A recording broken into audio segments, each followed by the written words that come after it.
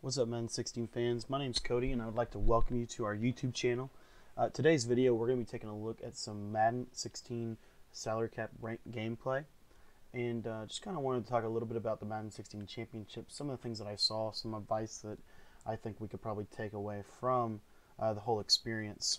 Uh, but the first thing that I want to kind of do is say congratulations to Madden Daily. The guy, the guys over there did a really good, good job uh, in the tournament, playing really, really strong. Um, pretty cool schemes that they had. Both of them ran different offenses, but uh, but the two guys from Madden Daily really played well. Also wanted to say, uh, Problem, you know, complete great respect for Problem. Uh, you know, played a great game. Uh, always shows up tournament time with a great scheme, with a great uh, concept. Makes simple things work very very effectively. Um, and so that's one of my things that I would like to say uh, about Problem. Now I want to get into the championship uh, kind of the quarterfinals and then the finals, uh, or excuse me, the semifinals and then the finals. So, um, Spot Me Please uh, was one of the better players, I think, in the tournament coming in. He was uh, kind of underrated. I mean, people didn't really know a whole lot about him, uh, except for some of the players that had played him before. And um, one of the things that we saw from Spot Me Please was we saw really, really effective passing offense uh, from the Indianapolis Colts playbook. Um, he was really utilizing the uh, shotgun bunch tight end uh, very effectively.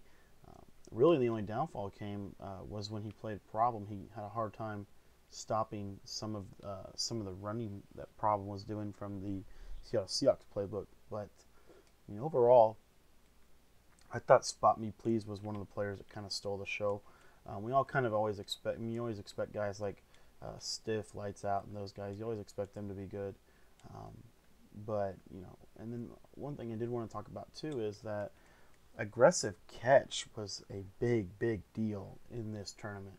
Um, Serious Mo, the former Madden Challenge champion, uh, won in the, I think he won in January or somewhere in there.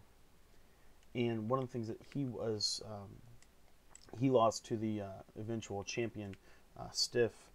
But um, when he played his game, uh, you could tell that one of the main reasons he got defeated was that he could. It was like every jump ball he could not catch. He couldn't catch it either on offense or defense. Every aggressive catch was going to stiff in that game, and it was just one of those games where I mean, that's kind of what it was. And it's interesting to me how big of a role that played uh, in the game, uh, because normally uh, features like that you don't expect it to play that big of a role but it, I mean, it really, I mean, it really did kind of, I mean, it, it decided a couple games uh, for sure. And but everybody had the same, pretty much same base rosters. They had uh, a lot of people were utilizing the golden ticket Mike Evans um, and the golden ticket Dez Bryant. Um, I think some guys were using the Calvin Johnson as well. I know Stiff used a couple of different players as his receivers, uh, but kind of the strategy was to really kind of spend high on your receivers. Um, that seemed like the main the main strategy. Um, and so a lot of people were running with the Gronkowski golden ticket, um, the golden ticket Dez, the golden ticket Evans, and then the golden ticket Calvin Johnson. So those were kind of the, the four or five guys that if you're, you know, look, looking for who to target, that's what everybody was doing. Um, now my suggestion is kind of off of watching Spot Me Please play is that one of the things I thought Spot Me Please really showed was that you could be very effective offensively uh, without having you know to rely on the aggressive catch, and um, and he was able to really do a good job. But basically, I want to explain why aggressive catch was so important in this game, and why it's so important that aggressive catch needs to be dealt with. Um, so basically, what what I saw was that um, people, whenever their reads were kind of, a lot of the defenses, right? A lot of the important defenses are cover three blitzes. Um, if you guys have my, you know, running the defense that I'm running in this game from New England, you know, the whole basics is cover three defense. I mean, it's it's cover three blitzes, three deep, three under shell. What that does though is it leaves you one on one on the outside. And what was interesting to me was there was a bunch of new pressures that came into light. Uh, a lot of people were running the crossfire blitzing concepts from the nickel 245 prowl um, and the double loop. Uh, a lot of people were running you know, just kind of you know running that best. That was mainly the blitzing concept, but I want to talk for a second about uh, one of the more effective defenses I saw was lights out from Madden Daily. What he was doing was really effective. I thought uh, he was running the big dime one four six, and he was running the pressure that we we taught uh, a couple weeks back. He was he was pretty much just kind of sitting in that defense and making adjustments. Now he did some other things too. It's not the only play he ran, but my point is the reason that that that was so effective for him, and we'll show you that defense here real quick. I think. Uh, but the reason that that defense was so effective for him was because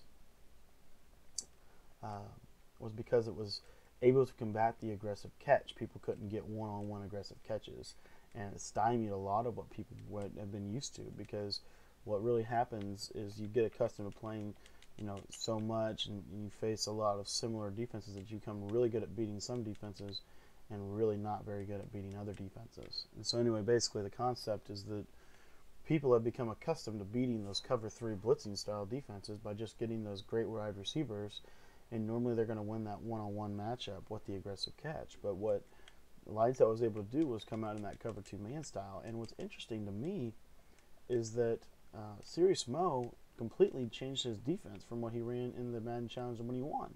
Um, he was running heavy, heavy, heavy dime normal and a lot of two man under, and it worked very effectively. He was one of the best defenses in the game. And then a couple new blitzes come out. Next thing you know, Serious Mo is running nickel two four five prowl. Now, I'm not saying anything about Serious Mo. I'm just saying that you know that may have been a reason why. Um, you know that may have been a, a, little bit of a reason why because in, in the game against Stiff, Serious Mo was struggling uh, to stop the aggressive one-on-one catches, and so um, just something to consider, guys. I mean, you know, cover two man is it's a very simple defense, but it's very effective, especially when you can mix in some pressure that you got uh, from some other things, and it may just be a good defense to kind of throw at your opponent every now and then. I mean you know, I I have I don't really like man to man defense ever. I always like zones because I love the chess match I can play with my zone coverages. But this season I've ran a lot of cover two man because I just I just can't stand it when I get you know aggressive caught on. And I found a couple of strategies to be able to kind of take that away, uh, but nothing that's really very consistent. It normally just comes down to if you leave them one on one there is a chance that you're going to get mossed over the top. And there's not a whole lot of strategy behind it. It, it literally is just a, a read thing. But I don't know. I mean, that's what I would say to you guys. Uh, if you if you want to kind of a couple things to kind of pick up on from the challenge. Uh, another thing that I think is important to, to kind of pick up on from the Madden challenge is that uh, you know game management is so so important. Knowing when to, knowing when to pick and choose uh, your spots is really, really important. We saw that all game long. Um,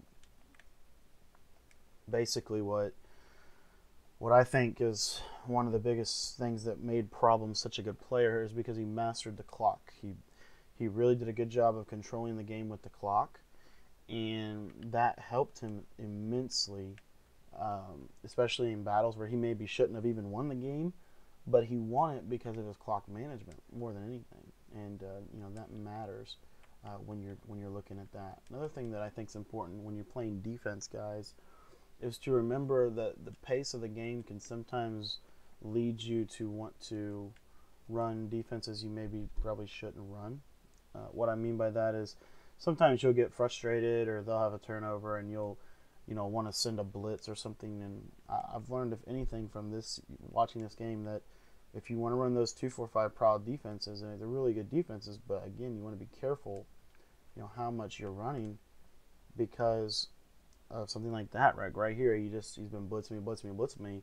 I'm able to get a one-on-one with a really good receiver on the outside and uh, end up you know getting in for six. So you know guys this is just some things that I would recommend.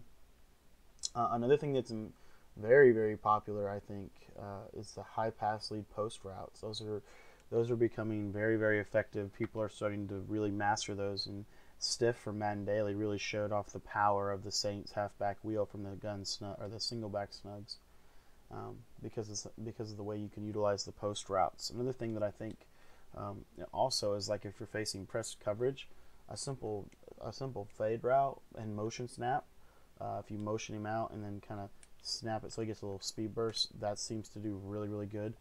Um, so you may try that out as well. There's just several several things that you can learn from this weekend, guys. But overall, I think the big takeaway for me from the Madden Challenge is that you need to you need to kind of figure out, you know, don't just run one play on defense. I mean, a lot of and, and I understand that a lot of people were making adjustments out of that one play, and it wasn't the only play they were running. But I did not see very much man to man defense, and I was actually kind of shocked because that was the main defense the last time. And part of what I think happens with Madden players, the more that I kind of study the game and watch and, and learn from everybody, is that they kind of want to stick with what, what's called the meta of the game.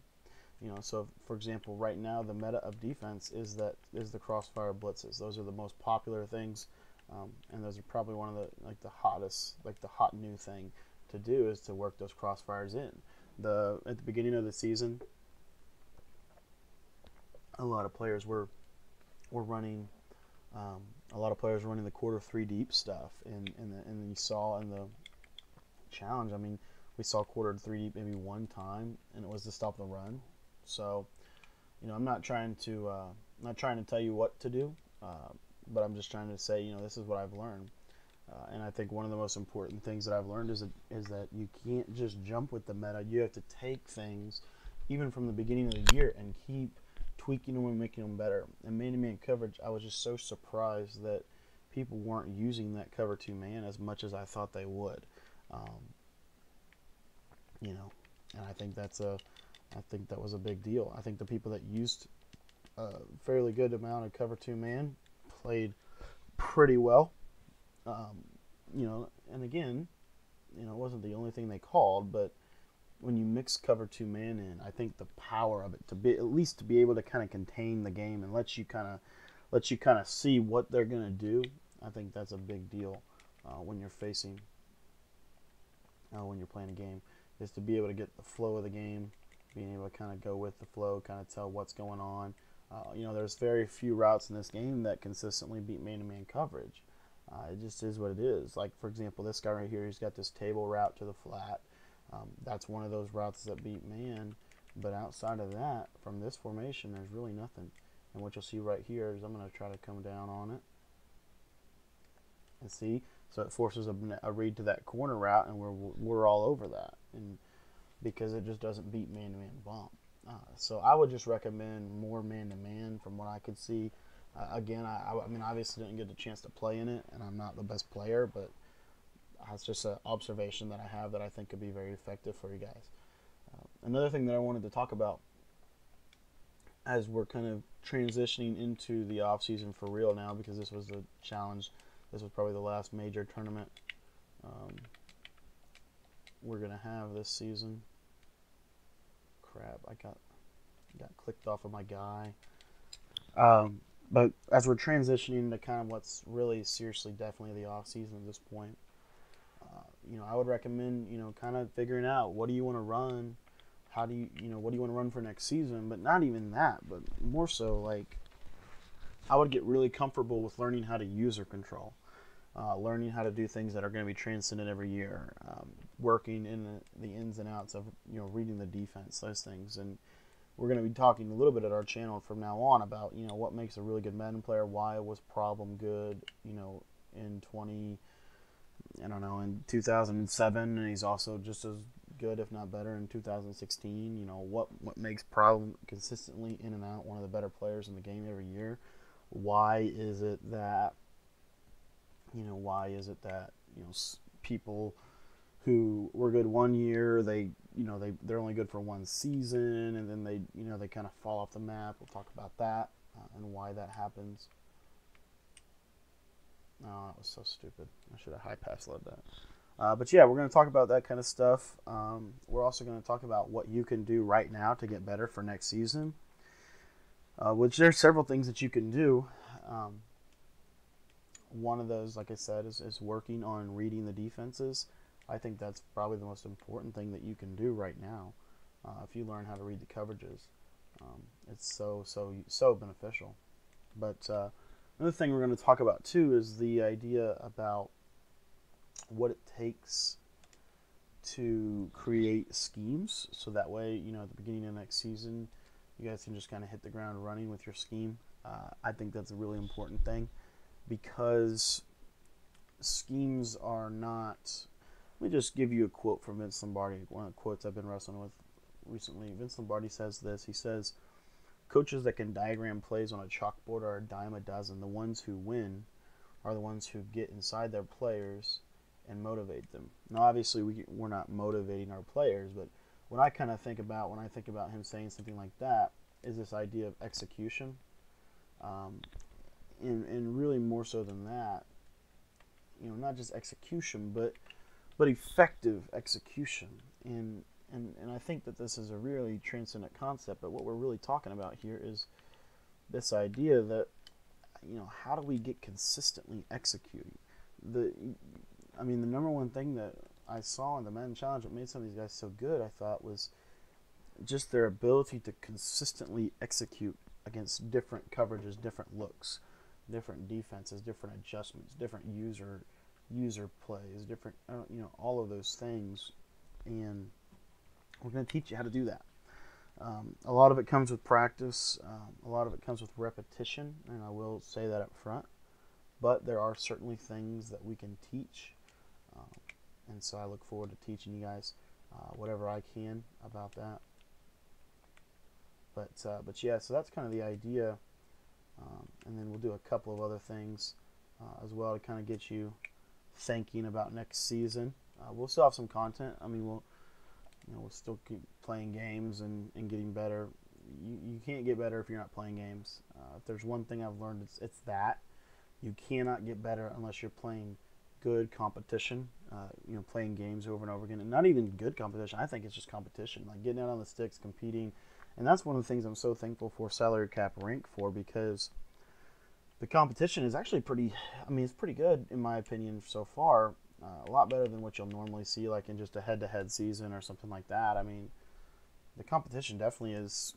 You know, they're playing the game to, you know, really kind of take that next level approach. Um, a lot of people are playing salary that are that got used to salary cap. We're playing in the Madden Challenge or the Madden Championship, so you get better competition, in my opinion. Uh, on the, at least at large, you, you really kind of do, I think. Uh, but anyway, so there's that.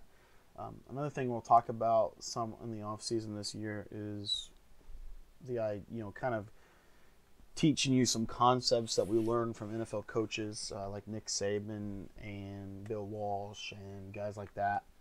And what we're hoping is that by teaching you some of those concepts, that you're going to be able to be very effective uh, at implementing them in whatever formation you're running. Um, you know, formation is not the end all be all. What's the end all be all is how do you execute that formation to success. That that's the big thing that I'm concerned with trying to teach, and that's what we're going to try to do here this season. So, you know, we're going to teach you a lot of concepts. Um, I try to teach concepts because I think they transcend, you know, what you know, formation by formation. You know, I can apply a levels concept out of a trips, out of a doubles, out of a I formation. You know, it doesn't matter but anyway, we'll talk a lot about that. Also, want to get into the topic about why, um, you know, why people run a lot of trips formations in Madden. I think that would be a good idea to talk about that. So we're going to talk about formations like strength, like doubles versus trips, and, and all those things. I think that'll be pretty good for us. Uh, but anyway, uh, okay. So for the rest of this video, uh, I want I want to kind of go back to the Madden Championship a little bit and uh, kind of talk a little bit about what um, defensively I saw because we talked a little bit about offense. I kind of want to go to defense now. So again, um, you know, like I said, I think that two men under was a little bit underused uh, this this time. I mean, I really didn't see it a whole lot. Um, so I think that you know maybe some more two man would have been definitely appropriate, uh, just because of how effective it was. Uh, I thought that what was interesting to me too also was that players that were really good in the last tournament came back to this one and did not perform as well. Uh, Skibbo did not start out fairly well. Uh, D Jones did not play very good. Uh, you know, so guys like that. And it's not that they're bad players or you know that they, they may have just had a bad game. You know, I don't know, but they didn't perform on the stage. It is what it is. Um, it was kind of cool to see. Uh, you know all the newcomers, but again, a lot of it comes down to that aggressive catch stuff. I mean, it really does. You know, more than you guys probably realize. I mean, a lot of people's offenses were using that aggressive catch heavily. Um, you know, it's my, more of like a bailout read if everything was covered was how they were using it. But the problem was that when they had to go to it, it was like it's almost it was very difficult to stop it. Um, so, but as far as um, pressure, again, a lot of saw a lot of people running the double loop uh, defenses. That was probably the main one. The I didn't see any anything we probably haven't seen, and that's the interesting thing about watching tournaments is you kind of expect to see all these different things, but you normally never see the different things. You just see the basic things executed better, and uh, you know that's kind of that's at least kind of what I've seen. Uh, you know, a lot of double loop, a lot of double loop defenses, uh, crossfire blitzes, and those those were heavily used. But again, I'm surprised that not as many people ran uh, two man under defenses. Uh, that was probably the most interesting thing to me about this tournament was that as effective as two man under was, especially as and as heavily as it was used a lot utilized in the last tournament, uh, not a whole lot of people ran it. Another thing that I wanted to kind of touch base on is that a lot of people did not have very good run defense. Um, that was interesting to me because when you think about it, I mean Madden 16, I mean it, it's a pretty effective running game. I mean there's there's ways that you can definitely dominate a, a, game of Madden this year just by running the ball. So it's very interesting to me that there wasn't a whole lot of attention to detail being paid on the running game. Uh, just didn't see a ton uh, outside of like inside zone. Like if you could stop inside zone, then people didn't really worry about it. But like for example, Stiff ran a lot of halfback dives from the single back snugs, and people had a very hard time stopping that. Uh, problem obviously ran fullback dive from the Seattle Seahawks I formation and was very effective. Uh, people had a very hard time stopping that as well. So those are a couple things that I would say uh, that were interesting to me from the defensive perspective. You know, if you're going to be playing in a tournament, you have to be ready for every kind of run. Because uh, what you'll find is that people will come out and they'll run the ball a lot more in a tournament environment, in large part because of the uh, in large part because of the nature of the tournament atmosphere. Um, the tournament environment is much more cutthroat. You're trying to really kind of, uh, really trying to, oh crap, come on, Tom Brady. Uh, you're trying to really kind of streamline your offense. You don't want to make too many mistakes. You know, that's the kind of environment that you're going to be in when you're in a tournament environment. And the problem, I think, for most of us is that sometimes we only prepare to stop the pass and we don't prepare enough to stop the run. And you know that's caused that caused an issue. Uh, caused an issue in this tournament for sure because some people came with run defense, some people didn't. And the people that came with run defense and were able to stop quarterback sneak and halfback slams and fullback dives and things. Those guys played pretty pretty well, but the guys that couldn't stop the run, they they didn't last very long. Um, because when you can run the ball, what it allows you to do it allows you to really control the clock, um, especially if you're a really good running running player. Problem is definitely one of the best running players uh, right now, in my opinion. So that's a couple things. Uh, the other thing about defense, I think, again, going back to that man-to-man coverage, like in the red zone, people were not running man-to-man; they were running like cover three zone blitzes, and it was opening up the post routes, and like the the post routes that people will use or catch. Um, or they'll aggressive catch it over the middle. And I, I don't know, guys. I, I just think that was not a smart move because, I mean, right here, say there's man coverage again. I mean, like, right there, there's cover two man. Now I can take a couple shots at the end zone. But the idea, guys, again, it goes back to this whole mentality that you got to do what works. You know, it may not be fun all the time, but I just don't understand why people did not run man coverage because what was happening, they were running cover three blitzes in the in the red zone, and the problem with that was it was leaving um, it was leaving like areas that they could easily throw um, they could easily throw some darts over the middle um, just for simple simple aggressive catches, like simple post routes. I mean, it wasn't really wasn't anything special. It was just a lot of aggressive catches. I mean, and it's fine because that worked for them. But I would just, you know, kind of say to the players that were playing, um, you know, it may be smarter next time to maybe use more man to man, uh, because what you're going to get with that man to man coverage against those post routes is it's going to glue to them, you know, and you're going to get double coverage over the middle. Now, again, it may not stop it, you know, I may, you know, but I think it would have done a little better job than the defense that they had. Right there, that was pretty piss poor offense at the end of the half. We three incomplete passes and did not execute after a turnover, so it's pretty much terrible execution right there by me. But hopefully, you guys see what I'm saying. Um, another thing I think you know I, I, probably made changes up on my salary cap lineup is to spend on your kicker. Uh, Serious Mo missed a field goal and it, a field goal, and it really really kind of hurt him uh, when it came to. It really hurt him when it came to the game because it got him really frustrated. Um, it hurt him especially because he came more aggressive, which means he wanted to blitz more, which means he left one on one a lot more, and all of that combined, it just really it made him struggle quite a bit.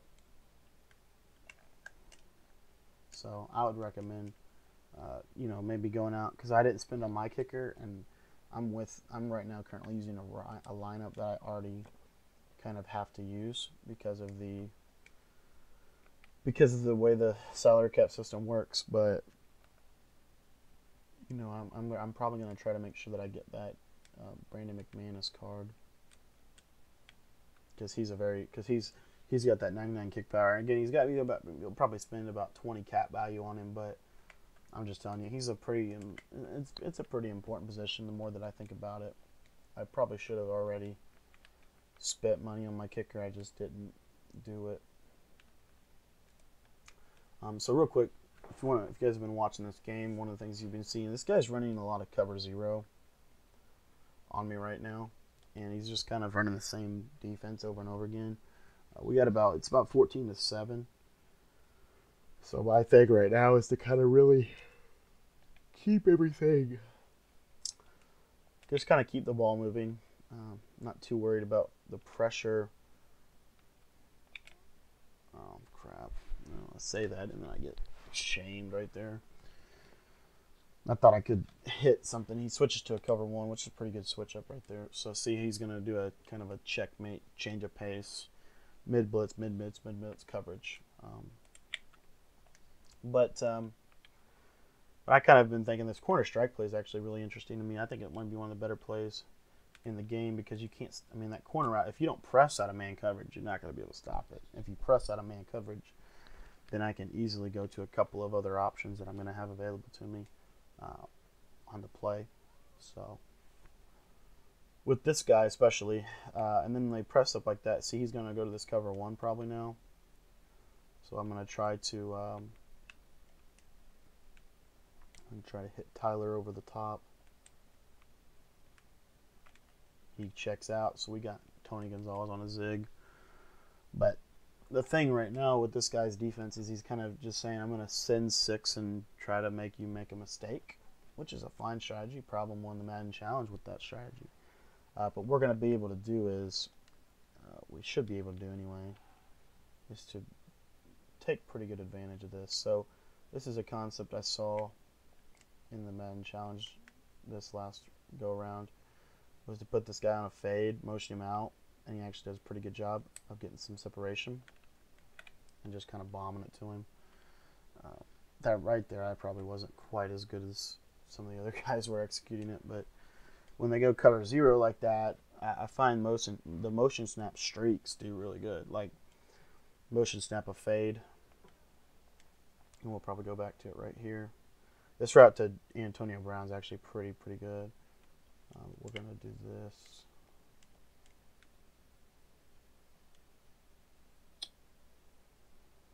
I'm try and bring a little crossing pattern across.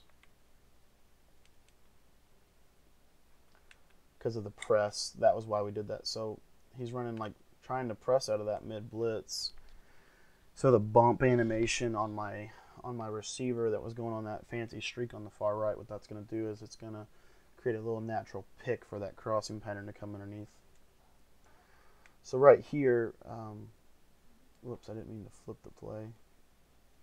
So right here, what he's going to do, we're going to try to hit this rep to Amari Cooper. Um, max protect. He's going to leave it wide open. Yep, that's wide open. So he's been using using kind of the outside a little bit, um, and what that's made me do is it's made me kind of have to go away from the C route on the PA. But uh, what we've been able, what we were able to do right there, we were able to easily catch him in a bad situation because use that motion we got out wide.